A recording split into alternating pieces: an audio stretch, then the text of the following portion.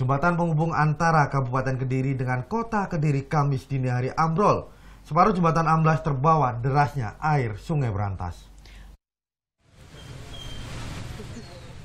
Jembatan Merican, penghubung Kabupaten Kediri dengan Kota Kediri ini ambrol setelah tiang jembatan diterjang derasnya aliran Sungai Berantas Kamis dini hari. Tidak ada korban jiwa atas ambrolnya jembatan yang memiliki panjang 100 meter dengan lebar 5 meter ini. Pasalnya, saat kejadian, kondisi sepi dan tidak ada warga yang melintas.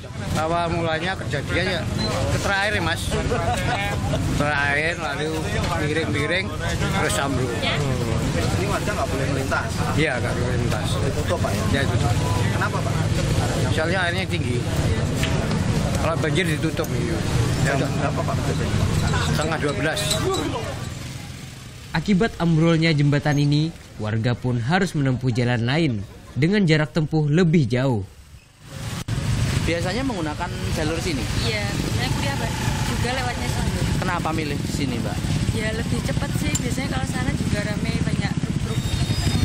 Terus kalau kondisinya jembatan kayak gini terus gimana ini? Mira? Ya putar lewat Semabis. Jauh nggak sih, Pak? Jauh lah.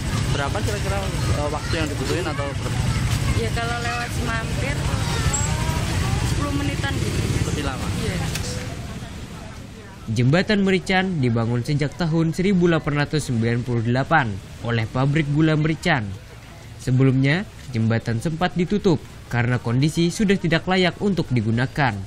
Namun, lantaran jembatan ini merupakan jalur alternatif dan warga memaksa menggunakannya, sehingga oleh pabrik gula diserahkan ke pemerintah Kabupaten Kediri dan akhirnya ambrol sebelum direnovasi. Eko Nugroho melaporkan untuk NET.